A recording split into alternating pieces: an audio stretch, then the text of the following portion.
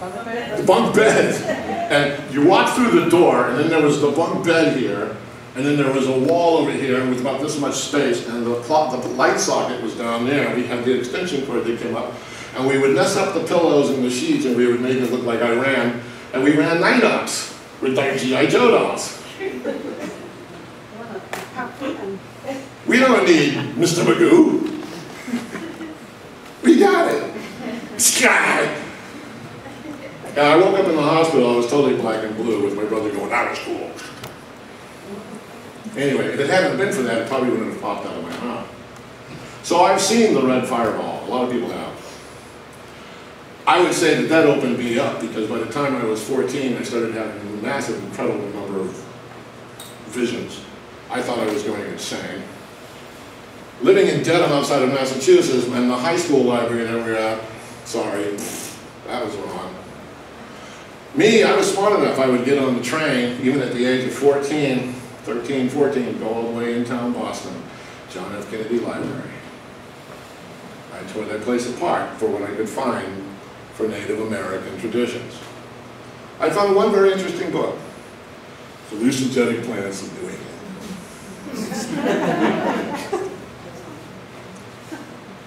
With a section on Native tradition. So I was good. I was also wasted. So when we talk about certain things like the ayahuasca and things like this, there, there is the ayahuasca, the psilocybin, salvia, kava, amanita muscaria. I got into about eight years worth of heavy use. I journeyed like crazy. I got real confused. I got real burnt out. And then I met a friend of mine, and whose name I would not remember, and I think that's purposeful somewhere in the intent on how he left me. I would have doubt he probably, you shall forget. Um, he was a Standing Rock Sioux native, probably about this much taller than me and about that much wider than me. Huge. When he came through a doorway, the doorway came with him. And I met him through a friend of mine who was a chef at Wellesley College in Massachusetts, which is an all-ladies college. They would have mexers at certain times, so he would give us tickets. We would go there, we would hang out, we'd go to the mexers, we'd checking out the bands and partying down. Da, da, da, One night I'm there at the end of the thing, back in their little barracks that were on site. After the party, it's like 4 o'clock in the morning, and this guy comes walking through the door. He lived in the room down at the end. he came walking through the door with Guinness Stout in his hand. Unbelievable.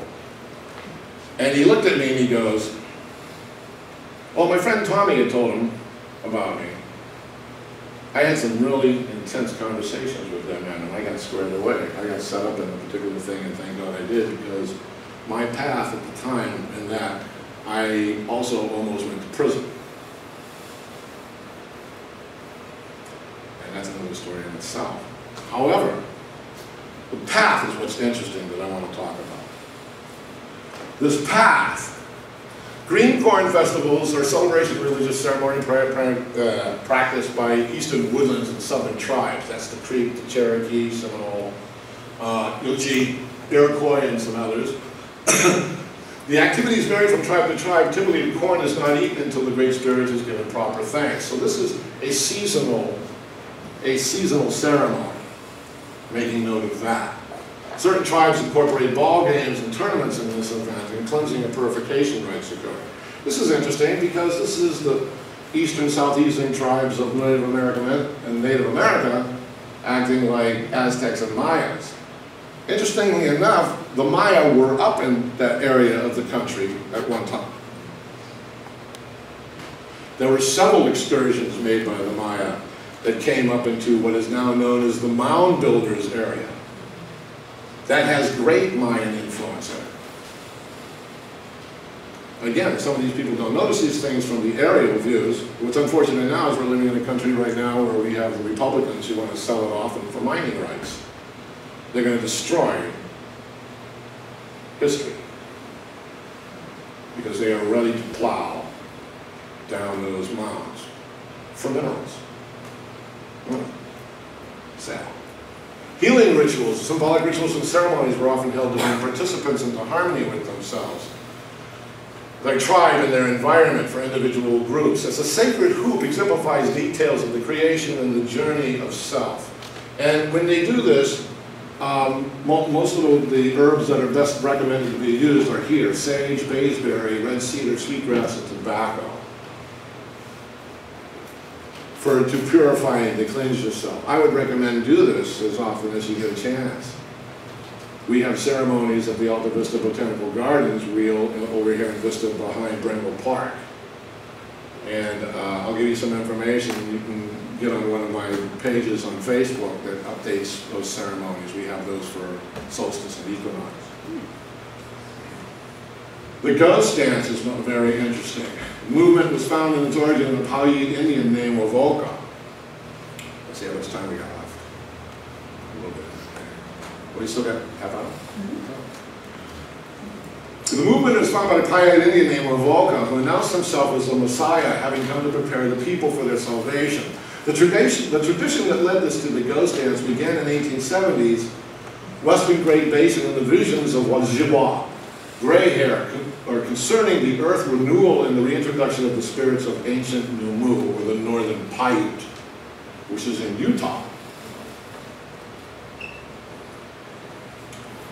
Central to the Natada, religion is the dance itself dancing in a circle pattern until an induced state of religious ecstasy is made with one's ancestors. There's a lot of people who want to try this. There's a lot of people that go all the way down to parts of India, I mean, uh, um, Peru, excuse me, looking for the ayahuasca adventures. The thing that I find interesting about some of this is the number of people that go down there, the ones that come back with an interesting story. But nobody considers the ones that don't. Because those governments hide an awful lot of American deaths. The point I'm trying to make here is our Salomonian rites need to have an order in how they are conducted.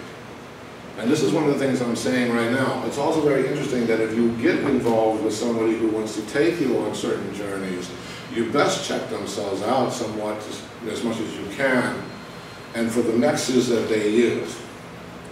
We're familiar with uh, Ray, what was his name, in Arizona that killed several people in a sweat I can tell you what was wrong. In my thinking, the juniper mix that it was being used by the stone thrower was not made right.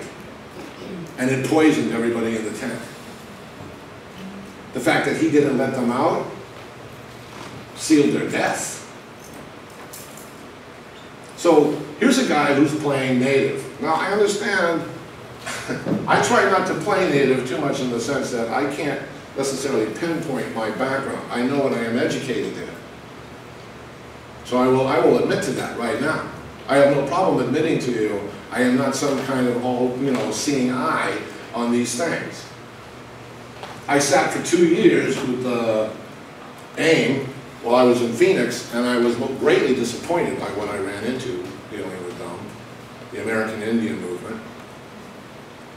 Found out that three of their lawyers weren't really lawyers, taking Indian native money and just misleading their legal, their legal disputes. This is Indians using Indians, mind you. So being the type of person I am, I didn't last there very long. After about two years, I got. What are you people doing? Your ancestors are rolling in their graves. But this is a hard life for a lot of natives, reservation life. It's not the easiest thing. You could might as well be living in Colombia, the way some of these reservations are. So this movement began with his dream during a solar eclipse on January 1st, 1889. I want you to notice that it's the beginning of the year there. I want to check out the Mayan date on that now that I think of it. That would be interesting. He claimed that in his dream he was taken into the spirit world and saw all natives being taken up into the sky while the earth opened to swallow the white man. His teachings followed the previous Paiute tradition predicting a type of renaissance. And the dance as was told to him was, when you get home, you must begin a dance. To continue for five days, on the morning of the fifth day, all must bathe in the river and then return to their homes. You must all do this in the same way. You shall dance every six weeks, prepare a feast such that all may eat. This is a uh, artwork based on the photographer James Mooney, and the artwork is done uh, when Wovoka came to Oklahoma to visit the Cheyenne and Arapaho. This is 1916, 1917, right in that time period. And this is, this is how they circle each other. And you have Wovoka here.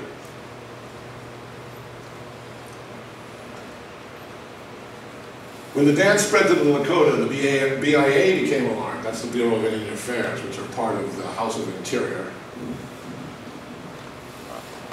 A lot of bad people. So it's interesting. I mean, it's interesting to me that some of the same people that like to run the BIA, and work for the BIA also work in the incarceration and prison system. There are also the people that come to our sun dances with rifles with our children. Ah! And their gun bags. Yeah. There you go. They all watchful seeing eye. So the BIA agents charged the Lakota sent tribal police to arrest Sitting Bull at the time. The struggle that followed, Sitting Bull was killed along with a number of the policemen. A small detachment of cavalry eventually rescued the remaining policemen. The United States then sent the South 7th Cavalry to disarm the Lakota and take control during the events that followed known as Wounded Knee Massacre, December 29th, 1890, 457 soldiers opened fire on the Sioux, killing more than 200 of them. This happened in less than two minutes. And it was basically all over. Ghost dance reached a peak just before 1890, when it became apparent that ghost shirts did not protect them from the bullets. Geronimo is famous for one of these, these, these spirit shirts. And the thing that's interesting about Geronimo was the number of bullets that must have been fired at him that never killed him. Geronimo was an interesting leader in the sense that he didn't, you know, as many times as they hunted him, it took a long time before he gave himself up and then he was killed. Current followers of the ghost dance are convinced that the path well, anyway, back just to this thing, Wovoka, disturbed by the death threats and disappointed by many of the reinterpretations of his vision, gave up his public speaking. Uh, he remained around for a while and uh, receiving visitors and such until the end of his life in 1932. Current followers of the ghost dance today, though, uh, work with the past, still reunite them with their ancestors entering from the spirit world. These spirits are called upon to heal those in need and help protect Mother Earth the dance has not stopped.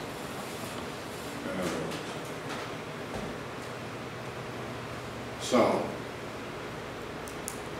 in those considerations, if there wasn't, uh, and somebody asked me, you know, you ought to give a talk on prophecy. I was like, I don't know. I don't know if you'd like what I have to say. But in this native sense, when time stops, when time freezes into a particular place, the Mayan calendar is a perfect example. The pyramids of Egypt is another example. When these things get frozen in place and they represent something to us, we need to understand them directly because you know why? That cycle is going to come back. There's not a single edifice anywhere in the globe today that does not have a representation of an astral cycle that will not repeat. matter of fact, those edifices represent the fact that they repeat because it took millions of years for people to conceive how to build them, where to build them. This isn't something that some king woke up with and someday, my people shall build this. No, it went on for hundreds of years, passed from one leadership to another in order to build and, fa and fabricate most of these edifices. And regardless of whether you want to consider the Sonics as going to build certain sites, that's another story in itself, and I'm a very strong believer in the possibility that that's exactly how it was done.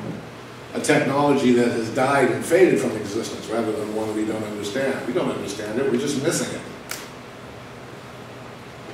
When you can move tons of stone with sound, One of the things I, I wanted to note in someplace in, the, in my Egyptological studies was the very word mason, mason.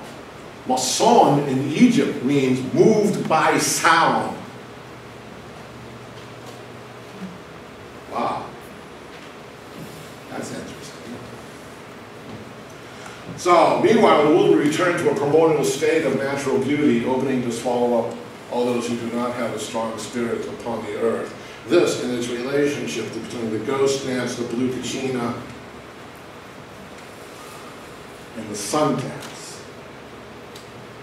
represent a particular level of Native American tradition that has a lot to do with what we're experiencing right now, politically, socially, economically, religiously. Every one of these dances was something that the natives did and tried to protect the country even though it wasn't something they had in their possession anymore. Prophecy is very powerful, and so is an individual who enforces it. Have the expression that the warrior is not